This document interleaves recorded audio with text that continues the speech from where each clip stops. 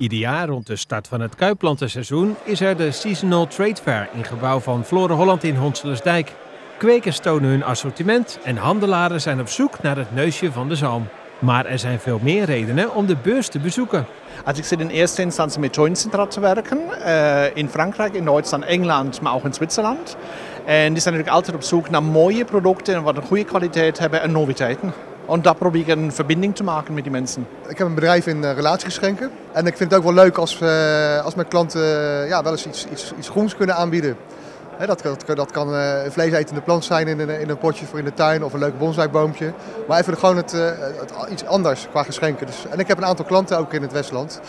Uh, die ook onder andere hier op de beurs staan. En dan is het ook even goed om te kijken van uh, hoe zij het uh, hier op de beurs zich presenteren. gewoon inspiratie opdoen, met mensen praten in de stands, echt leerzaam. En het is ook leuk om oude relaties weer eens te ontmoeten, maar ja, er zijn natuurlijk een hoop van, van mijn leeftijd die, die zijn er niet meer. Of het bedrijf is gestopt of ze zijn overleden. Maar dat neemt niet weg dat ik nog steeds geïnteresseerd ben in alles wat groeit en bloeit. Ja, en ik zit al mijn leven lang in de handel met snijbloemen en met planten. Ja, en ik geniet gewoon lekker maar het triste weer wat we op het moment hebben om hier de beurs te bezoeken. De beursmanager kon ook dit jaar weer op zo'n 300 standhouders rekenen. We zien wel dat veel kwekers uh, de samenwerking zoeken uh, in verkooporganisaties of uh, gewoon gezamenlijk optrekken in de presentatie op een beurs. Dus dan is soms één stand ook van meerdere kwekers. Um, maar dat is een redelijk stabiel aantal.